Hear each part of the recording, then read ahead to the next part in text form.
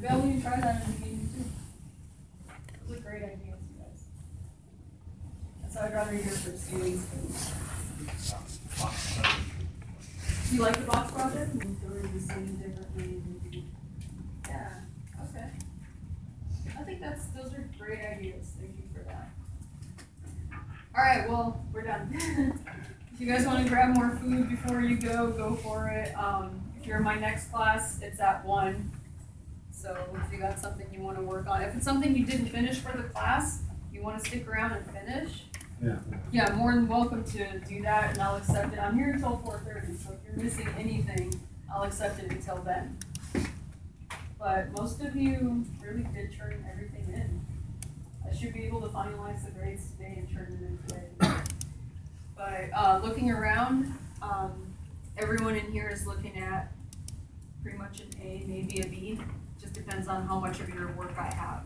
But all of these finals that I saw today were pretty much A's. So. But you'll see your, you should be able to see your grade tonight. By tonight.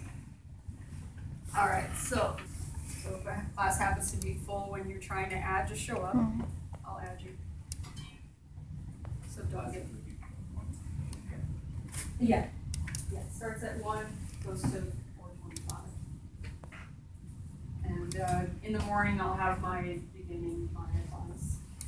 Um, I've had people ask me before if they can retake a class. As far as I know, we don't do that, but you can audit a class.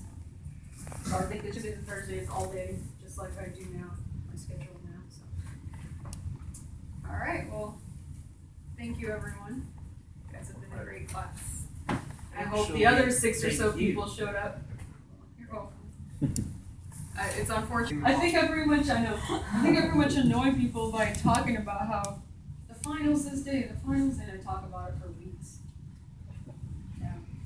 I don't know, it sucks. It sucks that I have to do that, but they stop showing up. They're not here. They never contacted me. They just stopped.